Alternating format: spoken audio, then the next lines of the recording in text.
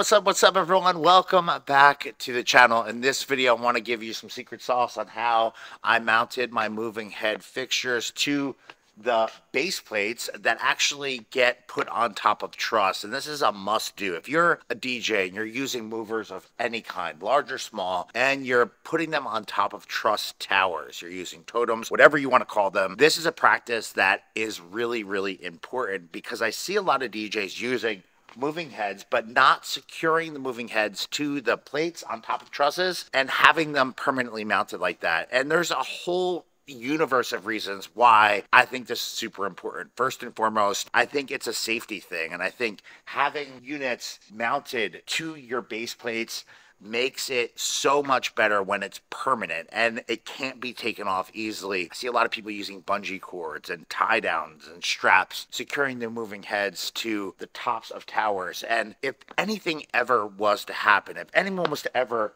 hit into a tower or that moving head fixture was ever to fall off of that tower, you are opening yourself, your business, and your brand up to some insane liabilities and potential issues from a legal perspective if someone was to get hurt. So, for that reason alone, I think it's super smart to do this. Not to mention keeping your gear in a place and in a way that will make sure it's always functioning right. I think every time you take something off and then you put it back up and you're always securing stuff, you open yourself up to potential problems with gear, maybe not lasting its true lifespan of potential opportunity. Now I want to walk you through the five or six steps that we took here. Bird, my ninja here at SCE, and I went through to mount these new movers that I just got and I'm so excited about to the plates that we use to secure them to the tops of trusses. So First and foremost, I want to say this before I even get started. If you're interested in information on base plates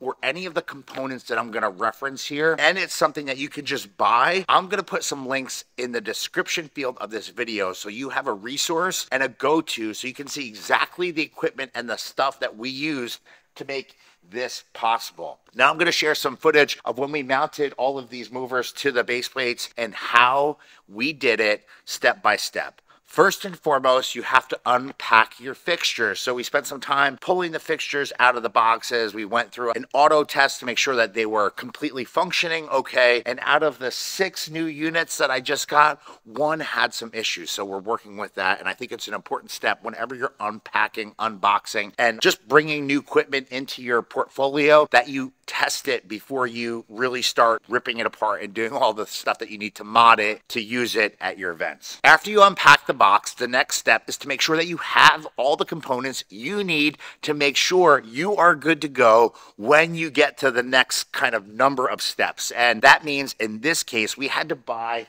locking bolts that fit this fixture with the base plate attached, which are very different than the locking bolts that come with the fixture because they are meant to use with a bracket and it adds a significant amount of space to it. So we got some new locking bolts and I have a link in the bio as well as we've got a couple of large half inch washers that will allow the locking bolts to go through them and will secure the actual fixture to the base plate without any wiggle room. So it'll hold it nice and secure so that if you ever need to pull it off, it's not going to go anywhere. After you have all of your components to make this work, you go to the next step, and that's when you strip down the feet and anything else that is on the bottom of your light fixture, just like you see in this video clip where we remove the actual safety harness because we're not going to be using these fixtures upside down. We remove the rubber feet, we remove the extra screws.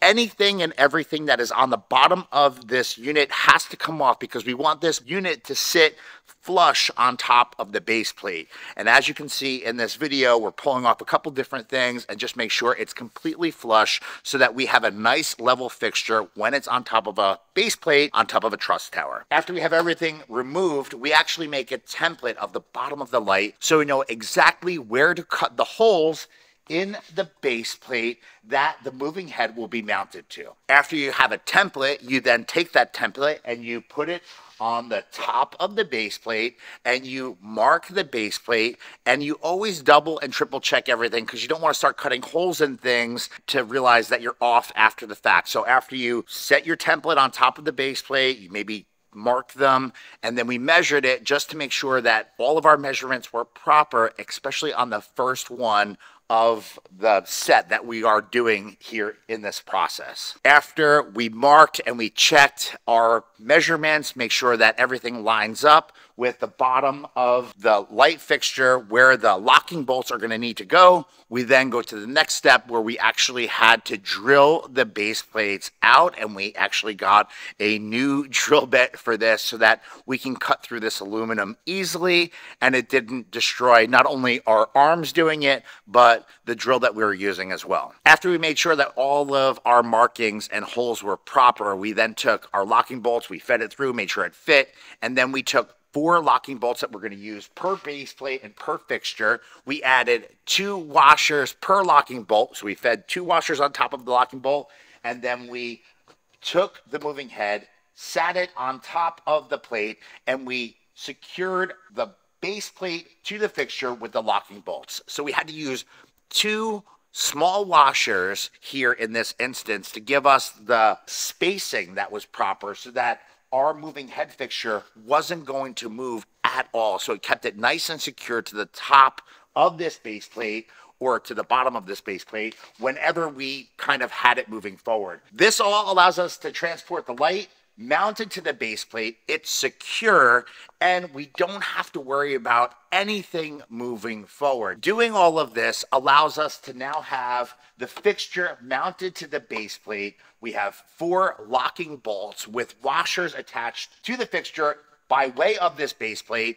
And now, anytime we transport these fixtures in the future, in the cases that we had made for these lights, the base plates will always be attached. Now, the reason why we're doing this is so that the fixtures itself have less wear and tear. We know that the fixtures are always going to be mounted to the base plates. And one of the other incredibly important pros to doing this is it makes us that much faster when we set up as well as when we break down at an event. And I know I've talked about this a number of times, things that we do like powering our trusses and doing all these little things, having cables that are connected and pre-run and, and everything kind of thought of before we get on site to an event allows us to be incredibly efficient. When you're efficient, you move faster on the setup, you also move faster on the breakdown, and all of that is incredibly important. I hope you enjoyed this video. I hope you took something from this video, and if you have any questions about how we ran through any of this, please throw it in the comments underneath this video. If you want to hook up on any of the stuff that we used, again, look for the links in the description field and be on the lookout for more videos coming to this channel channel in the days, weeks, and months ahead. Real, real quick, if you haven't seen the truss hack that we've come up with here and now used for well over 10 years at SCE, I'm going to put it in a video right over here. I want you to check it out